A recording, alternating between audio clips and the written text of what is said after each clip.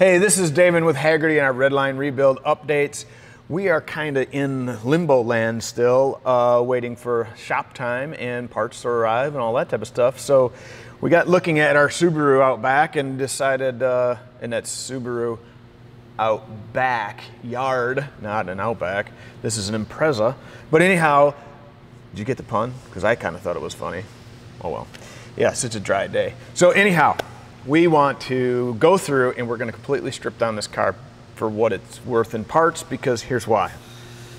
It's not a fine specimen of Subaru uh, longevity because it's rotted pretty bad. You can see up here, the sway bar link is no more connected to the wishbone. yeah, kind of reminds me of a song. But sway bar is not connected to the frame anymore.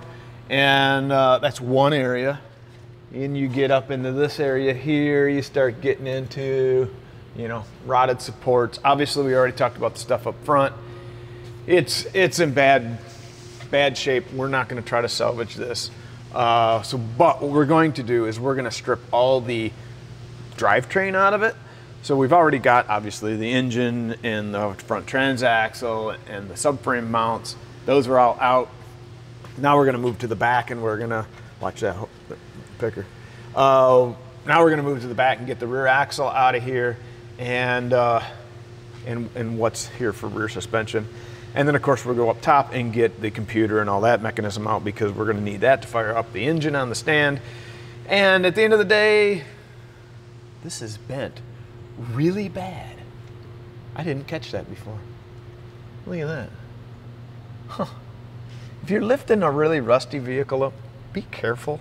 I'm not going to tell you not to do it, but be, be careful. So in our case here, I need to get to this mount to get this out of here. And you can see the rocker is not such a great spot. The pinch weld is gone, but we'll make do. We have a extra support right here, so it should not fall on my head. Cool. Lower it down, start on the struts, get the wheels off, drop the rear suspension. That's plan A. We'll see how it rolls.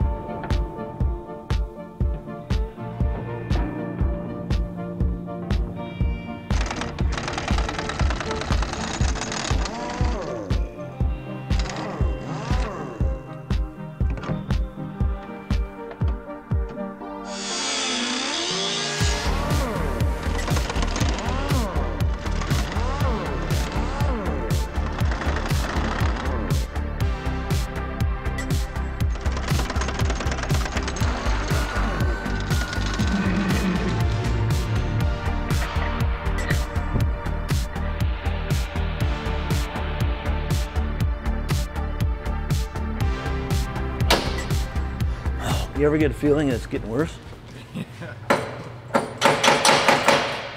Yeah, give me just a little bump. Good.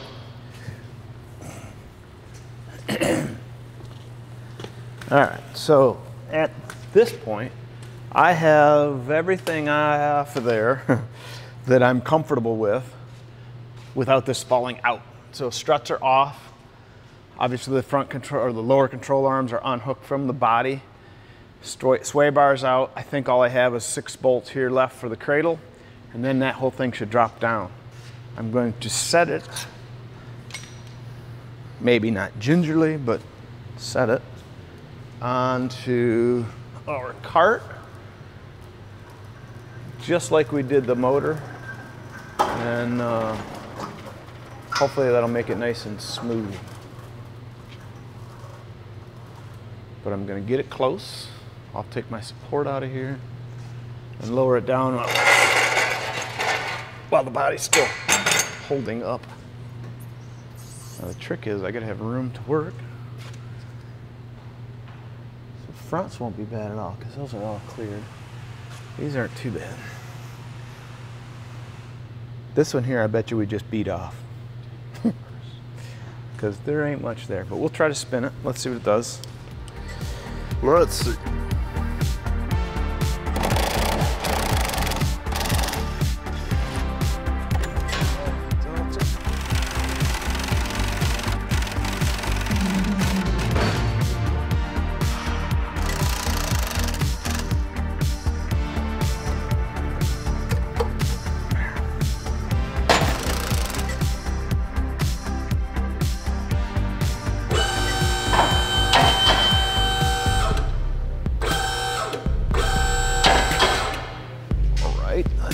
This out here.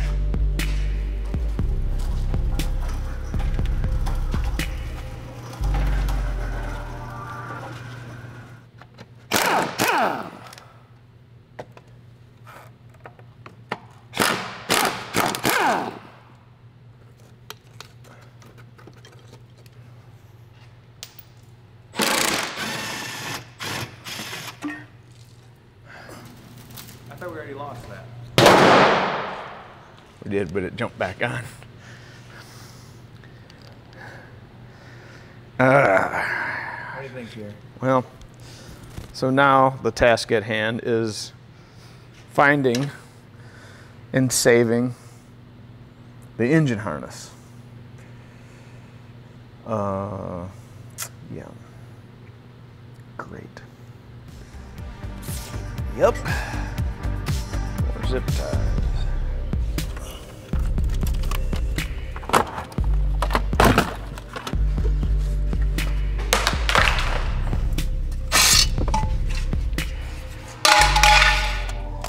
It's like a treasure hunt. Mad treasure hunt.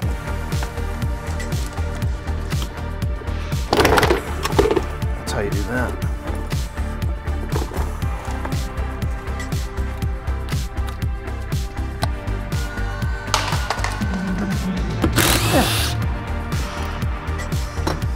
There it is. That one we gotta keep, just in case. I really just enjoy stripping it.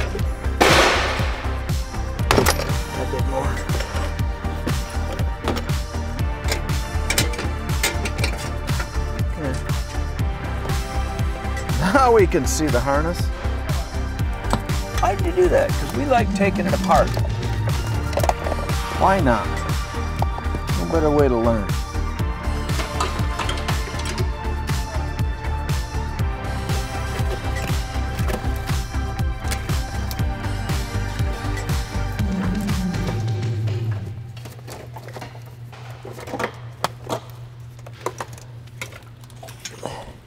You want fuel efficiency in your car? Get rid of all the electric wires. Because the amount of weight is stupid. Is it worth it? No.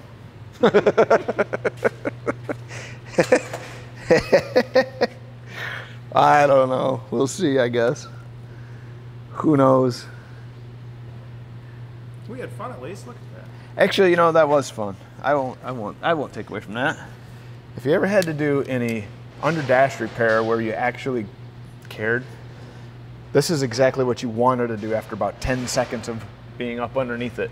Is just yank everything out of it and reckless abandon, and well, here you go. But look at the sexy pedals that are underneath there. Aren't those cool? So at, at this point, other than maybe taking the pedals out of it, uh, I think we're done. We've this is our version of uh, chop, cut, rebuild. Uh, we basically just chop and cut. We're not going to rebuild this. We need the wiring harness so we can start that engine up on a test stand. And I, I guess the rest of this can be made into small cubes in somebody's coffee table. So here's my rockauto.com tip of the day. Whenever you can reuse parts. Pretty simple, right? Pull them out, salvage them, recondition them, so on and so forth.